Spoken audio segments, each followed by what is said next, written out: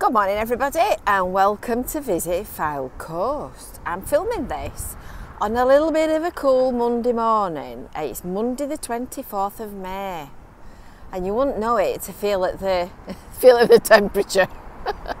There's quite a cool breeze, and we're at North Shore. We're at North Shore, Blackpool, and we're going to go and take a walk and see what's happening and see what's new because everything's starting to open and come back to life, and the scaffolding's starting to disappear, and the skips are starting to be removed, and various different things have been happening. so you might have seen last week we went for a look along North Pier and we went to the new Bloom Bar right at the end of the pier, which is very nice. If you've not already seen it, I would highly recommend that you go and take a look. So this little spot is what's also known as Cocker Square. And I do believe that is Cocker Street. Yes, it is. Um, hotel at the back of it, nothing remarkable about it at all, you might think. But that little spot of Blackpool is one that goes back quite some way into the town's into the town's history, and it's actually named after Dr. Cocker, who you might recognise as being one of the, the, the names that everybody knows as being one of the founding fathers of Blackpool as we know it. So we often we often dip into the astonishing work of Mr. Nick Moore, who has written a, a, a fascinating tome called The History of Blackpool and the Fylde Coast and you can find the link to that in the description underneath this video. And that that um, that piece of work tells us all about Dr Cocker and his associates and the people that gave us this amazing seaside resort. So the water's gently lapping. It's not been gently lapping this weekend I can tell you. It's been really really windy and raining and cold and there's been some sunny spots but goodness me you can tell. Well it's usually rotten in May. We were saying this the other day. So we're going to go and take a little scoot via the, the, the crazy golf which unless you know it's there you wouldn't be able to tell would you?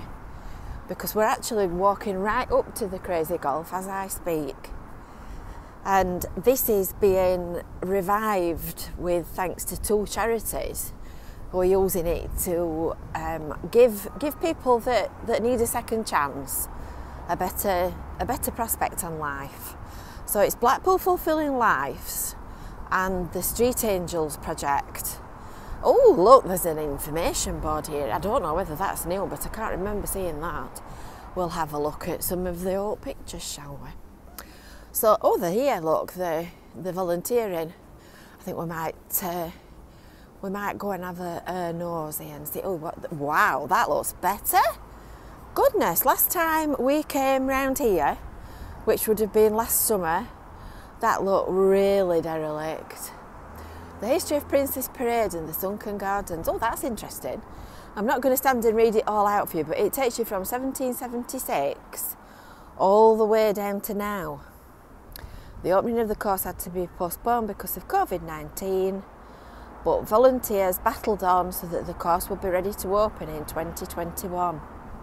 And there's all old pictures of the area here, which might not be very clear to you on video, but you might have seen some of these actually on Facebook. So that's the Metropole. Um, and that's the look at that wow just imagine that must have been awful I bet that collapsed easily and that's what you might remember from your youth and your childhood. Huh. Fascinating. But yeah, I can see a big difference. I can see, I can really see what they've been doing. That looks such a lot better. I'll, I'll continue this morning's video. And if they're up for, if they're up for a chat, when we've looked round the back of here, we might we might be able to show you something else. So this is another little bit of scaffolding city. This little bit of Blackpool seafront gets such a battering. It's right at the side of the, the main highway, so it gets all the traffic dirt and one thing and another. And it's also as well right in a wind tunnel because this this Metropole Hotel creates a terrible wind tunnel for the because it, it, it kind of blows southwesterly so it comes that way and it comes through here like you won't believe it's awful. So these poor buildings here always end up looking mucky. But if you've been watching bargain loving Brits which I must admit I do enjoy watching bargain loving Brits you might have seen a guy called Jason in Blackpool opening this new bar. And it was on the one that we watched, because we, we set them to record and then we watch them on wet Sunday afternoons when it's windy, windy and cold. So Jason has taken on the job of renovating this club, which was, well, I mean, you can tell by the look of the upstairs. It had top weight on, the showed inside. Here's the siren. There's always a siren. So they showed him on um, Bargain Loving Brits, renovating it and making it into a, a new a new bar. So that's only recently reopened. I think it's probably opened since um, lockdown. Since lockdown finished last week. So there's various other establishments down here. Here's another builder. Here's another builder. There's, there's builders working everywhere in Blackpool. There's such a lot of work being done well while we've all been closed. If you come back this summer, you're going to see a really big difference. but it's an ideal time to do it because there's not been any customers. So this is the other side of the Metropole. And obviously now we've got we've got people back in the town having holidays. So the, the, there's holiday makers and suitcases and coaches and oh, all kinds of things. It's just like getting back to normal. It's lovely. And this is the cenotaph. There is another video on our Blackpool playlist about the cenotaph. It's quite an interesting, quite an interesting piece in its own right. That we spent a lot of 2020 during lockdown walking around various places and looking into, digging and delving into history and finding, finding things out that we didn't know and ferreting in corners. And there's another interesting one there as well that we've also covered. Can you see there's a little concrete bollard thing there? Just at the right hand side of the bin.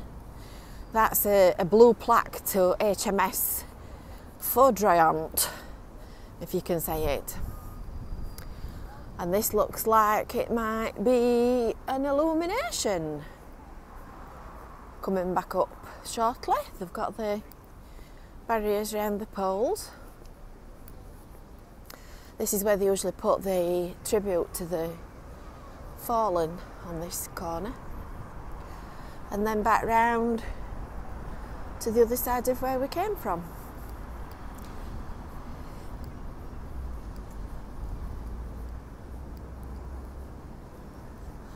I'll show you over the edge.